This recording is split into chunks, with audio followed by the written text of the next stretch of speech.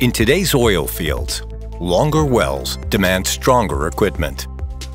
To extend their reservoir contact, operators prefer to drill long lateral wells, enabling them to reach the target production with fewer wells drilled.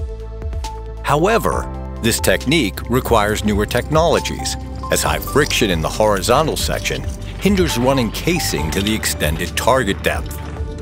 Setting and milling frac plugs in the extended section which is beyond coil practical reach, also limits intervention.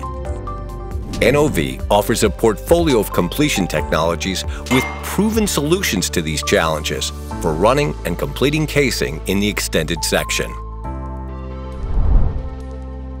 NOV's Ultra Reach Flotation Collar, or URFC, has an internal glass barrier disc it traps air in the horizontal section and separates it from fluid in the vertical section. Created buoyancy helps reduce friction in the horizontal section and run the casing string to the target depth.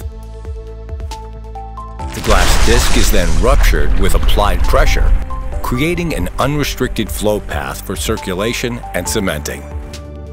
NOV has helped operators save tens of thousands of hours of rig time and complete millions of extra feet in horizontal drilling without additional overall vertical footage drilled.